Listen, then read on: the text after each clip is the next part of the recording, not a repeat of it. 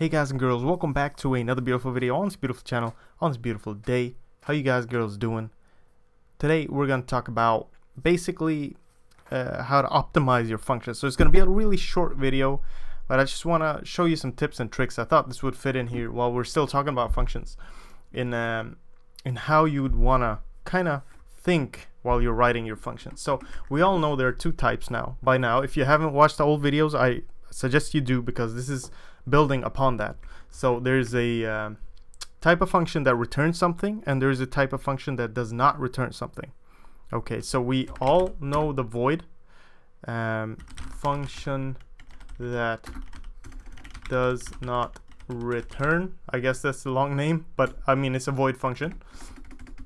Let's just call it func1 and then we'll have some uh, parameters in here later but it's not gonna do anything other than just do stuff okay? Let's say it's gonna change a number in here. Um, but a a good thing to know to note is that if you want to optimize the speed and if you have a bunch of functions calling constantly in a game or or something and you're just constantly calling stuff um, you don't want to just always do a copy for example int value all right so we want to change this into something else. Int let's call it value to change and then we'll have int value here. So this is gonna change let's just comment that in um, get a value as a reference and change it with and replace it say with get a variable as a reference and replace its um, its value with another value. I guess that's kind of a bad explanation of it, but whatever. It's just a simple function. So we're gonna get this value and we're gonna replace it. So now we we need to think about a few things. So what's going on? We have we're not returning anything we know that this needs to be a reference variable so I'm just gonna do that. I'm gonna make it an int reference. Okay so now we know that this is an int reference to a int integer vari variable. So whenever we get a value here it's gonna be susceptible to change right directly in the memory. So we're gonna be able to change it outside from within this function. So the function's task is very simple. It's going to be value to change uh, to change equals value. Really simple, right? So we're assigning this value to value to change. So another thing we can do is that we're obviously going to be getting a value here, but it's not going to be a variable, or it could be, or it could be anything. It doesn't really matter what this is. Okay, it doesn't really matter, but we want it to be efficient. So what I'm going to do is I'm going to add const here. I'm going to make this into a reference as well. So you're like, whoa, what the hell's going on? Oh my god, what's happening? Why did you do this? Well, const. Just very simply, don't freak out. Const is something you can write in front of anything. I can write const here. I can make a const int. Often when I make a local variable, I'd make it const int uh, local uh, and just give it a value in here, 20 or something like that. But a constant, all that signifies, it tells the computer, hey, Mr. Computer, we're not going to change this value ever. So once it's assigned a value, I'm not going to change it. So that kind of takes a load off the computer. Okay, that helps the computer understand that this variable will never be changed. It will, as soon as it gets a, a value, it will not be changed. So a const int reference is something, a reference is also good because it doesn't put that pressure on the computer to kind of copy over all the data from a variable. All it does is it just copies the address. So if the data is large, it won't matter. We'll just it will take space the same amount of space in memory, but it will still just have to kind of copy the address and then it will go through that address as an alias to the value. So uh, let me just show you that because I, you're probably confused. If you're not, if you're not confused, please just skip ahead a little bit. But what I mean is that we have an object here that's huge, okay? And we have this shortcut. We create a shortcut of it. It's kind of small because all it holds, because the address of this might be x123, but the value is like blah blah blah blah blah blah blah blah blah. It's huge, okay? But the address is like this. So if we were to copy, if we had a parameter that would take this type of object, we'd have to copy the whole object into that parameter, which is huge. We don't want to do that. We'll create a little we'll reference parameter because this doesn't have to copy all the data over. All it's going to do is it's just going to copy the x, 1, 2, 3. And now that if it's const here as well, const, that will mean that this reference variable will not be able to change any data in here. Okay, so let me just explain that again. This is a const integer reference, meaning that it will just copy over the address of whatever we write in, and it will not be able to change that there. Now, obviously, this temporary value doesn't need to be changed. That's why I put const here. But this reference needs to be changed. This is going to be changed from the outside. So we don't want a const there because we're going to change the value of whatever we put in here. So I know that was a lot to take in probably. Let me just try to show you how to do this. So let's have an integer a equals 20 and I'll just print that out. A new line, boom. So this is, I know it's a little complicated, but don't don't worry too much about it. So let me just print this out. See if it works. 20. Boom. Easy. Now, what if I made this const? Let me just let me just explain that to you. If I made this a const int 20, this would be fine because I'm only assigning it a value once. But I'm not I can't do a equals 30. I can't do that. It's going to say uh, expression must be a modifiable L value. So that means that it knows it's a const. Computer is confused, like why are you trying to change something as a const? You just told me, blah, blah, blah, blah. But if I remove this const, it's gonna be a variable. Literally a variable. It will be able to vary. So const can't really vary. It's a const expression, constant expression.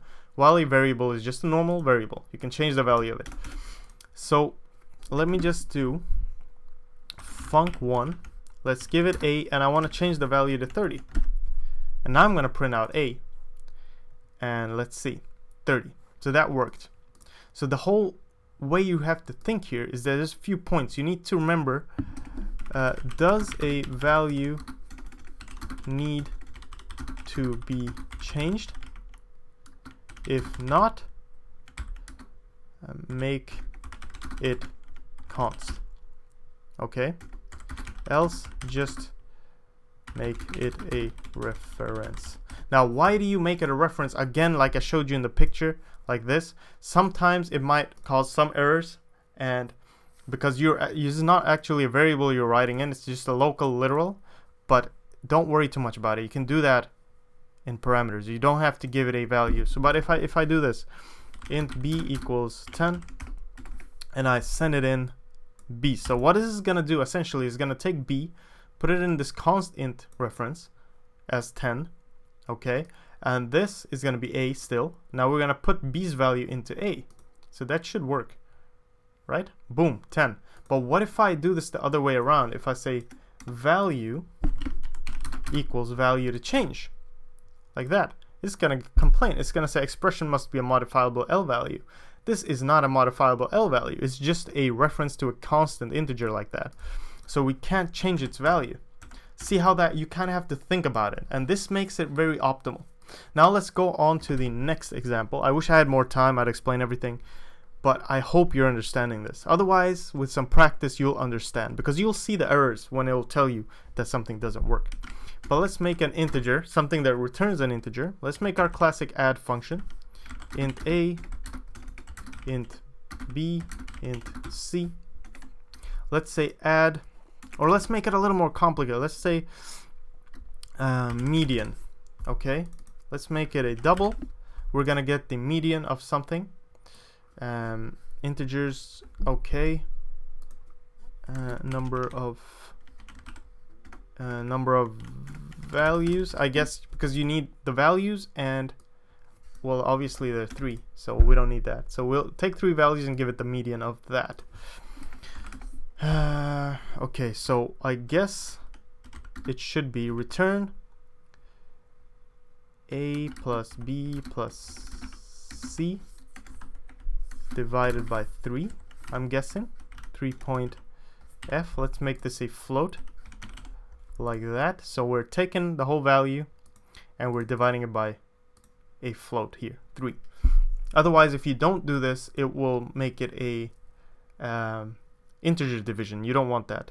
I think it will. or that might actually this float might actually never mind just just put 3.f here it'll make your life easier and for the computer as well but don't think about it too much we'll talk about that in the later coming videos um, but anyway this will take the three values add them together and divide it by 3 and then we should get a median value but how do we optimize this function what is the optimal thing actually I'll take that with us actually a good point here uh, anyway so what are we returning first of all we need to think what are we returning we're not returning a variable that can be changed that needs an address or anything. We're returning a value. So you don't want to go ahead and make this. You, you could if you wanted. We can try that out, but I think it will be an error.